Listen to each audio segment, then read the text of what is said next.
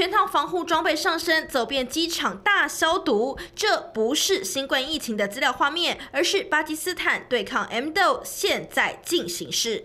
बॉर्डर्स के ऊपर हमने टीम्स को अलर्ट किया है जो बॉर्डर हेल्थ सर्विसेज है कि जितने भी मुसाफिर आए और कहीं पर अलामत जाहिर हो तो उन सबको दियर एंड दिन स्क्रीन किया जाए 全球 M 豆疫情升温，巴基斯坦也出现病例，机场如临大敌，民众忧心封城锁国的日子又要回来了。对此，世界卫生组织 这么说：“Our standing recommendations are exactly as was outlined by my colleagues from IFRC that um, we do not recommend uh, closure of borders. We do not want to see closure of borders.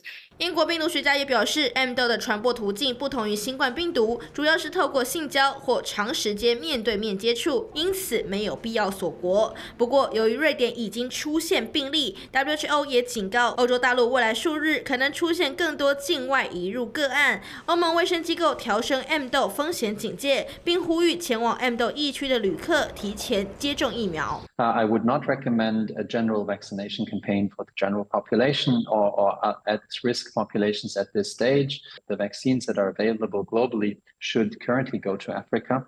目前，非洲是 M 豆疫情重灾区，至少十六国受影响。刚果民主共和国已有至少五百四十八人因此死亡。由于当地疫苗仍然短缺，疫情难以有效控制。面对新一波病毒来势汹汹，全球再度绷紧神经。下列新闻，刘觉宇报道。